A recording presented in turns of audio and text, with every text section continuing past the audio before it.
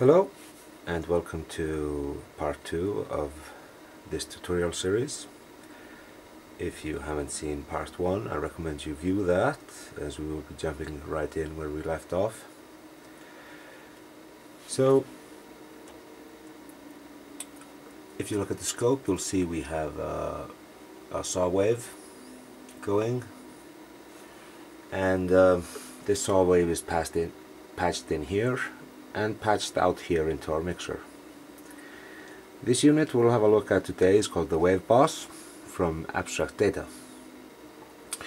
So the Wave Boss is four channels of uh, various types of audio manipulation, wave manipulation, hence the name Wave Boss. The first channel we'll be looking at today is in fact a VCA. It doesn't say so on the panel. On the panel it says inversion, attenuation and 2x gain. It says here internal CV, external CV, then it has a signal in, CV in and the signal out. So we've patched our saw wave to the signal in and our signal out into uh, the mixer and uh, in fact this internal CV, CV knob here is the bias knob. Now you can think of the bias as a fixed CV amount you can set to uh, to your VCA and affecting it with this fixed internal amount. So calling it an internal CV is fine. Um, however, this one offers us inversion. So if we turn the, the bias knob counterclockwise, we'll start to see our original wave. If we, however, turn it clockwise, it will invert our wave. So if we carry on,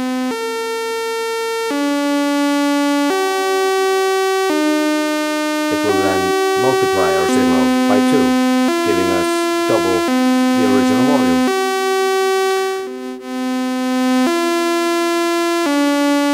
This works in both directions. So you can see, as it says on the panel, inversion attenuation and 2x gain is all possible. Now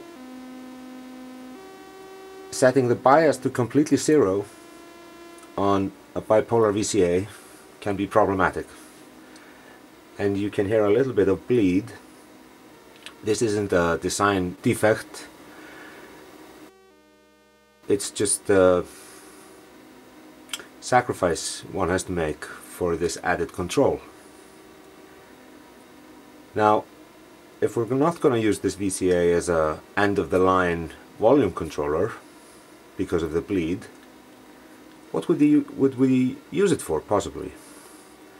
Well, we could use it for wave shaping. Here I have uh, patched in the sub out of my oscillator and I'm just running that through this Triatt and if we patch that into the CV in and allow that to manipulate our signal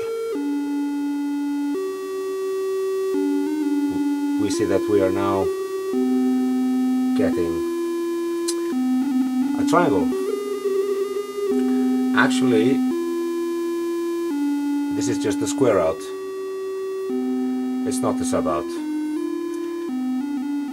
If we patch it into the sub out every other every other saw shape gets inverted giving us a subtriangle so again this is why it's called the wave boss. When it comes to manipulating waveforms this unit is absolutely boss. We can uh, go to the second sub-octave. And you can now see how two are inverted and two are not inverted. Back to the square. So, we could of course use, instead of a square wave, a sine wave, and uh, any other wave, and this will give us many, many crazy sounds. Another thing we can do is to use a simple envelope. And because we have the bias set to zero it's going to work like a regular VCA if we however offset the bias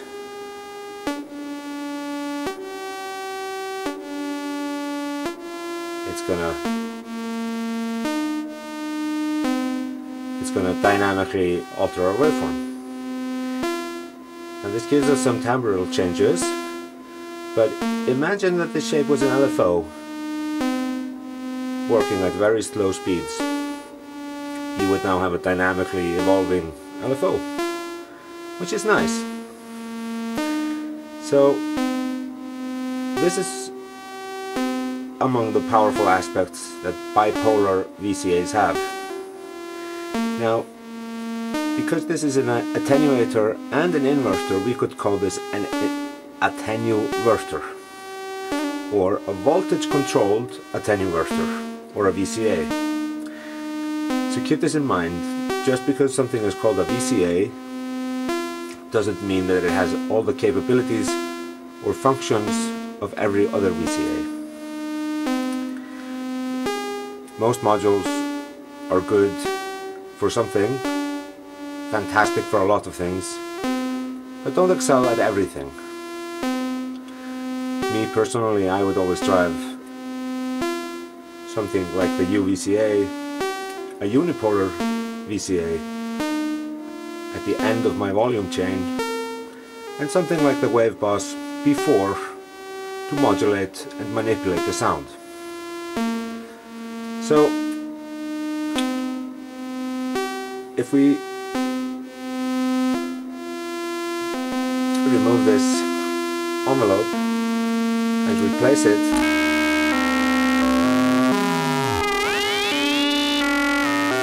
with a LFO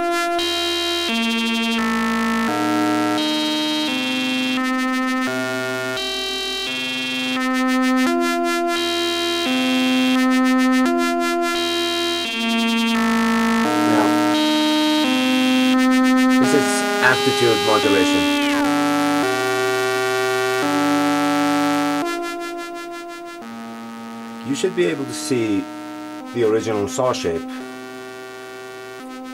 inside the new shape. And if we bring up the frequency of the modulator, you'll see that it only exists in the same polarity as the saw you'll see the zero point where there's silence, the modulation doesn't pass through there. This is what we call, again, amplitude modulation. And most volume modulation happens in a multiplication of 0 to 1. So the volume can never go above here, the volume will never go above the carrier signal the modulator will act within its dimensions. I hope this makes sense. So we call this two quadrant multiplication. The carrier can move from 1 to 0 and down to minus 1. The modulator multiplies by any number between 0 and 1. So once the carrier goes below 0 into a negative number, the modulator multiplies the negative number by an amount between 0 and 1. Or actually in the case of the wave boss between 0 and 2. But um, what happens now if we take this towards zero bias, we start to get modulation that exists in all four quadrants. Maybe you can visualize it here on the scope. And it's good to do with a saw wave. Two quadrants, four quadrants. So the sound we hear right now is known as a ring modulation. And if we play a, play around with the uh, pitch of our oscillator and our LFO, which is actually an oscillator as well, you start to hear this uh, very recognizable ring modulation sound.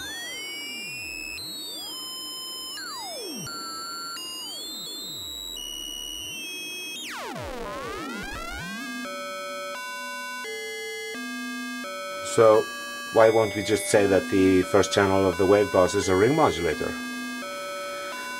Well, because the wave boss is a VCA and ring modulators are in fact uh, four diodes connected in a ring each modulating the output of the next, causing this effect known as ring modulation. It's a very specific circuit. Ring modulation is in fact four quadrant multiplication and if we want to be super anal we could say that bipolar VCAs and ring modulators are both capable of four quadrant multiplication. I hope I'm not confusing you too much with this uh, math talk. It had me a bit confused at first.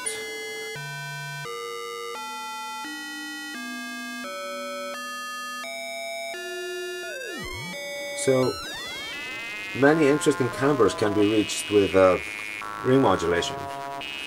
And I have the sound passed through a micro VCA from Intellijel, the one we looked at in our last segment. And I'm going to use that to gate our sound. I'm going to add a bit of exponential. Set.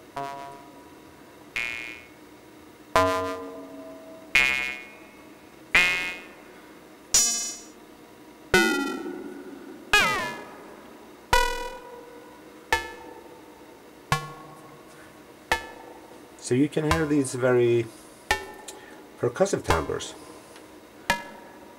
with some proper fine-tuning modulator and carrier.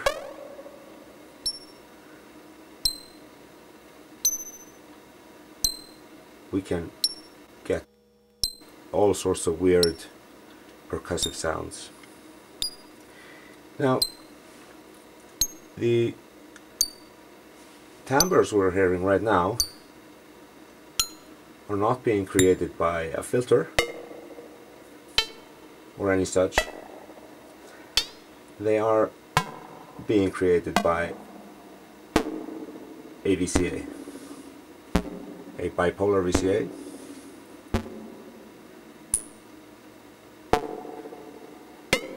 And they are very hard to create using any other method. So I recommend if you haven't already that you dive into amplitude modulation and four quadrant multiplication or ring modulation as it's more commonly called. It is very rewarding.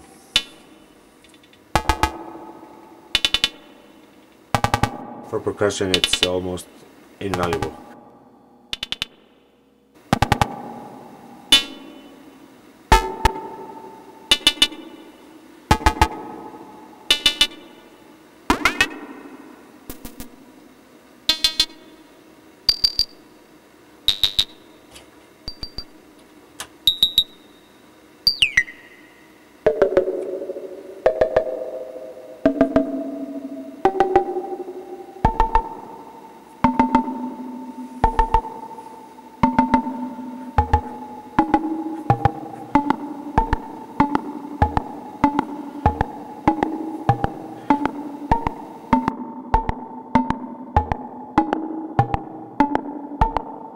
Nice thing with the Wave-Boss is because it's um, it's capable of both amplitude modulation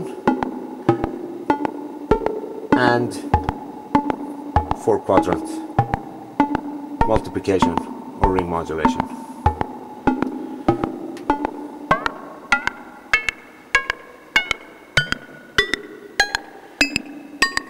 Simply changing the original waveform around a bit can have very dramatic effects on the outcoming timbre.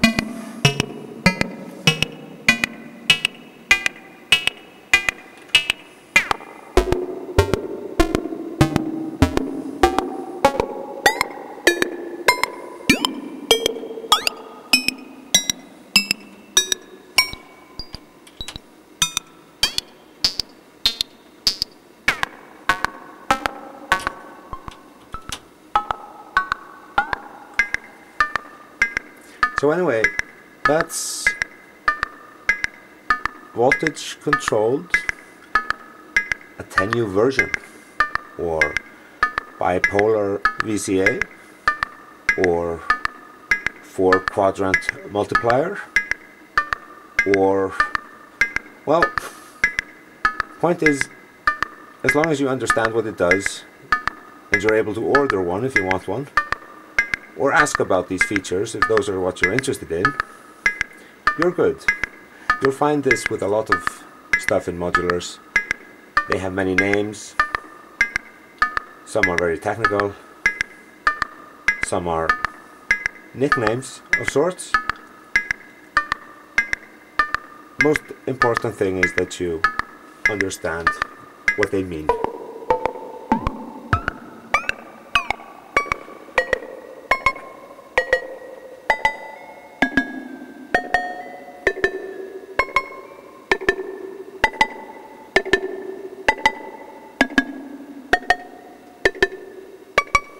So I've just noticed that my spring reverb has been on the whole time. But um, these percussive sounds sound nice through a spring reverb, so that's fine.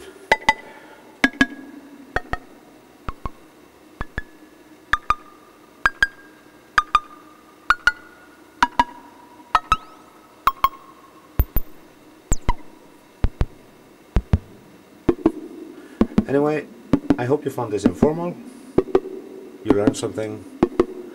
I hope you'll experiment with these things and uh, you'll tune in next time. Please uh, subscribe to the channel or at least throw a like on the video. Uh, I hope to speak to you again. Goodbye.